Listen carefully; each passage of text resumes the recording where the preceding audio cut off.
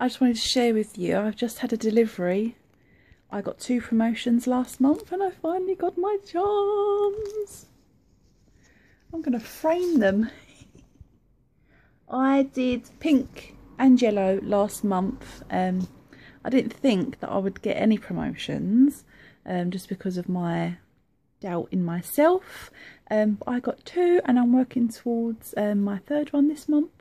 Um, it's so exciting, girls. If you're sitting there thinking, should I do this? I would say yes. Honestly, it's so it's flexible and it's so much fun and all the girls are so helpful.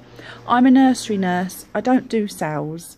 Um, but the training and the tips and the support that everyone gives you is mind-blowing. Everyone is so lovely.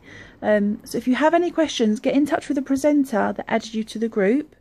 Um, I know that I have added some of you girls. Talk to me.